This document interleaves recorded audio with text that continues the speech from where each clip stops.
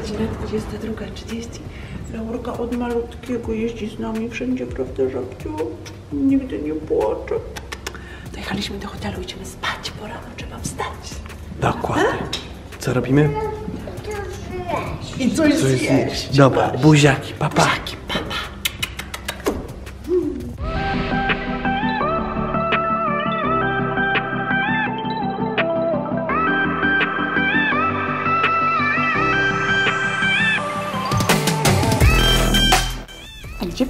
idzie? do hotelu na jedzenie, Coś na śniadanie w hotelu, a później gdzie? do telewizji. Zapraszamy Pani na śniadanie godzina dziewiąta. Dzień dobry.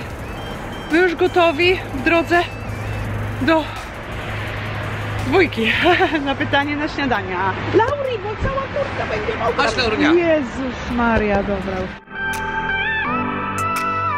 Jesteśmy w telewizji. Tak jest, przyjechaliśmy właśnie, prawda? Co, na OPA?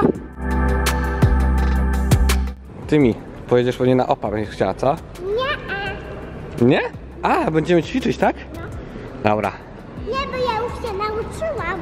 Aha.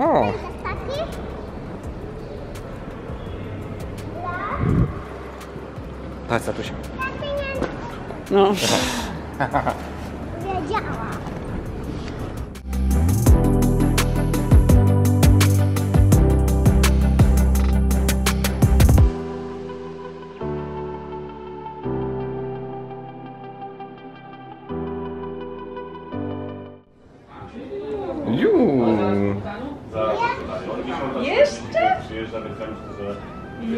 Obrazy się rozstawia. Nie kręcić się w głowie? Naprawdę? Naprawdę się nie kręci?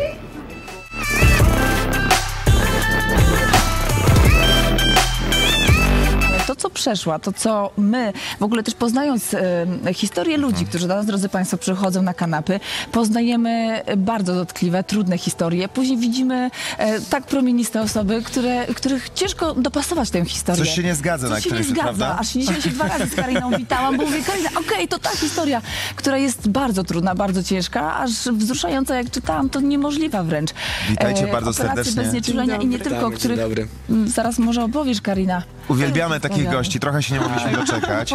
Karina jest z nami, z mężem Piotrem. Witajcie bardzo serdecznie. Dobry. E, No i Laura, i Laura tam się wtula w mamusie. Laura, co, czterolatka już mamy? Mamy, nie? Pewnie, że tak, z pięknym kwiatkiem. E, Marynarz i żona marynarza, ale to wszystko, słuchajcie, e, zaczęło się od, od właściwie dramatu, który to jak, jak grom niestety z ciemnego nieba wstąpił na ciebie w wieku lat 13. Mecz koszykówki, fantastyczna sprawność, super zdrowa dziewczyna, dostała piłką w nogę i co, się, co się wydarzyło? E, I zostałam e, zniesiona z boiska, e, ponieważ już nie mogłam wstać. I tak e, w wielkim skrócie, ponieważ nie mamy tyle czasu na wizji, e, się okazało, że przez trzy miesiące ból nie mijał i e, też przez e, przypadek koleżance weszło, e, miała wypadek w szkole i poproszono mnie, żebym poszła z nią do lekarza na pogotowie.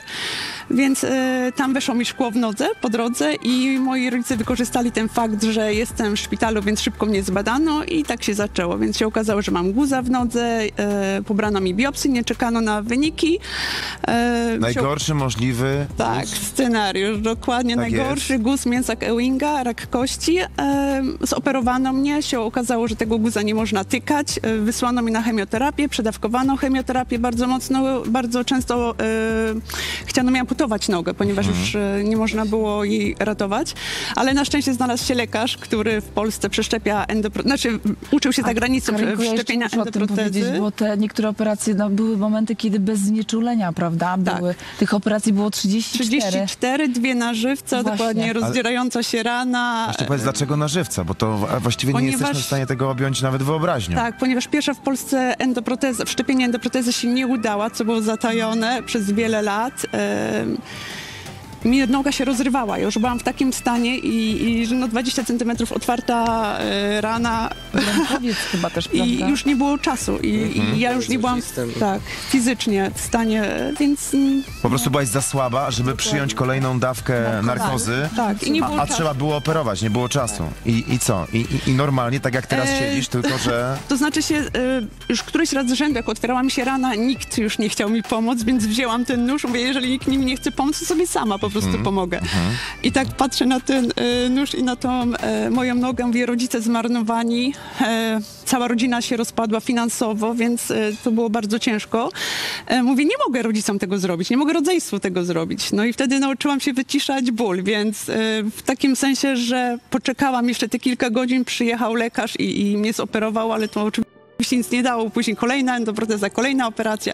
Teraz chodzę dalej ze złamaną nogą, więc dalej mnie to wszystko czeka, ale I ona to cały czas mówi, tak Piotras, słuchaj. znosić uśmiechem- Z z uśmiechem no, no. i, i z, taką, z taką pozytywną energią. bo ja bym swojego życia w życiu nie zamieniła, bo było tak, że przed przedawkowaną chemioterapię powiedziano mi, w życiu nie urodzisz dziecka, nie ma na to szans, bo w wieku rozrodczym wszystko zostało w tobie popalone, a mam cudowną córeczkę, zdrową, piękną, więc nie zamieniłabym tego, naprawdę. No, teraz No i o! taki moment po prostu, Może ktoś trzeci Że- idzie poprowadzić że, że tak, że pewnie państwo przed telewizorami teraz też z nas, żeby tacy jesteśmy walczą troszeczkę ze wzruszeniem, ale, to, tak. to jest coś, coś pięknego. I na którymś etapie, jeszcze zanim pojawiło się największe wasze złoto, pojawił się ten brodacz Tak, no tak. Poznany na No, na fejsie. Znali się na fejsie. sposób, tak. Jak to się wydarzyło? Bo to też nie było takie oczywiste. Bo ty zaczęłaś. Ja zaczęłam. Ja jestem, e, byłam w, e, po rozwodzie, ponieważ jestem po nieudanym małżeństwie i z rozwaloną nogą tak w pokoju, w domu siedzę, czy ja mam jeszcze jakąś przyszłość, zastanawiałam. Na miłość. Ale mówię, tak sobie przyglądam tego face'a, tak jak już teraz ludzie robią. Zobaczyłam e, zdjęcie wspólnego znajomego, przystojny pan w mundurze, w brodzie, uśmiechnięty. Zaprosiłam go, mówię, dobra, kobieta tego nie robi, ale co tam. No i co? I przez dwa miesiące mnie nie przyjął. Mówię, co za buc? No nie No tak, no gdzie? Widziałeś pewnie nawet tam.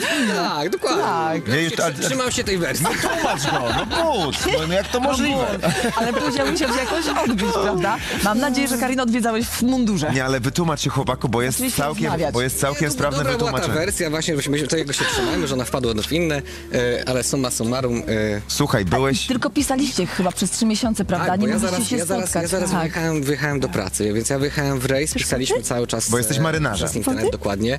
E, I jak wróciłem, wróciłem z rejsu, tak przyjechałem do Kariny, tak zostaliśmy razem. Więc to Już była tak jakby miłość od pierwszego wejrzenia w ogóle. E, No w ogóle się tobie nie Ale dziwimy. Karolina, zobacz, że strzeliło cię akurat i wiedziałaś, że to jest mężczyzna, prawda? I No bo to w moim wszystko życiu są takie przypadki naprawdę, e, normalnie jak ludzie wchodzą do windy, to winda e, dojedzie do piętra, a jak ja wchodzę, to do, nie dojedzie połowę, się przewrócę, wszyscy przechodzą normalnie, ja się przewrócę na, e, prostej drodze. na prostej drodze, czy, czy e, masz. zimą e, woda leci z ryny, tak akurat ja się tam przewrócę, ale Ale proszę, Nie, oszukuję przeznaczenie. tak ten film kiedyś. tak. słuchajcie, i był taki moment, że też e, to, o czym mówiłaś, lekarze mówili, że, że, że nie ma szans, że zaczęliście myśleć wręcz o, o adopcji. Tak, zaczęliśmy myśleć o adopcji, zaczęliśmy myśleć też o, o przeprowadzce i tak naprawdę, gdy nasze wszystkie myśli odeszły w innym kierunku, okazało się, okazało się, że Karina jest w ciąży i... Ale adop- adoptowaliśmy psa. Dokładnie. No, Szkolimy. no proszę, powiedzcie, jak wygląda teraz wasze życie i funkcjonowanie, bo Marcysia to córka marynarza, to ona tę Tak, codzienność zna. Tatę. Polska Prawda? Afryka pływał, to mama wtedy miała najciężej. I też Karolinka, moja, moja siostra, się rodziła, Mhm. jak taty nie było. Jak był w rejsie, rzeczywiście widział już dziecko, które było już gotowe na świecie. Jak, jak wygląda taka Ta codzienność rozłąka. wasza? Piotras. Oj, wiecie, no to jest, to, jest, to, to też moglibyśmy rozmawiać naprawdę godzinami o A tym. mamy jeszcze trochę czasu, chcemy właśnie, jesteśmy... Takie życie, jak ja wyjeżdżam, to to jest zupełnie inne życie. Jak ja przyjeżdżam, to ja jestem też 100% dla swojej rodziny. My żyjemy wtedy tak naprawdę na fulla e, i staramy się nadrobić ten czas. No bo kiedy nadrobić ten czas? Nie da się go w inny sposób nadrobić i to jest piękne, e, że skupiamy, skupiamy się na sobie e, i, i korzystamy z tego wszystkiego, a szczególnie dla, dla Laurki, bo to ona to jest No taka córeczka tatusia i, i Tak. chociaż córeczka tatusia, ale jak coś się dzieje, to zawsze idzie do mamusi, więc... Znaczy wszystko bardzo dobrze. Czyli Laurka wiemy, że chciała bardzo mikrofon, może coś tam powie, nie wiem, Chcesz coś powiedzieć? La- no, dobrze. Nie, już się kulę do mamy. Będziemy stresować. Ale mamy Droga książki. do marynarza. Historia prawdziwa. Karina, to historia, którą polecamy wszystkim, którym się wydaje, że, że nie ma nadziei, którzy mają bardzo ciężko. E, Za kolejnym winklem, za kolejnym rogiem, tam kolejny upadek za każdym razem na nich czeka i wydawać by się mogło, że, że nie ma siły, żeby się podnieść. Tutaj kilka odpowiedzi na ten temat. Z ogromną wiarą. Wiadomo, prawda? co tobie teraz daje e, mocną siłę. A powiedz jeszcze na koniec, co przez te wszystkie lata, zanim pojawiły się dwa największe szczęścia w twoim życiu, dawało tobie kopa do tego, żebyś iść dalej. Ja zawsze chciałam żyć. Zawsze. Jak już każdy stał nade mną i po prostu jak w filmie e, amputujemy ci tą nogę, zgódź się, zgódź się, zgódź się, po prostu będzie lepiej. Tak. I bez bólu, i bez niczego. Nie. Nie, no, no bez sensu. Amputować zawsze można, tak? Trzeba walczyć do końca. Ja kocham swoje życie, a też e, moja rodzina mi bardzo pomagała, bo my jesteśmy bardzo zżyci ze sobą i no kurczę, no bez sensu. No byłam Chcemy 13-letnią dziewczyną, chciałam zostać modelką, no teraz jestem modelką e, oszpeconą, ale jestem, no. Ej, jesteś wyjątkową, jesteś modelką wyjątkowo piękną. Nie mogę, nie mogę na przykład uprawiać sportu, ale nauczę swoją córeczkę jeździć na rowerze stacjonarnym, ale nauczę. Dobrym człowiekiem, Karina. Oj, słuchajcie, bardzo wam dziękujemy za tę wizytę, e, za tą taką bombę atomową dobrego podejścia do życia, dobrej energii, Aż krzyczy szczęścia i piękna. Dzięki za to.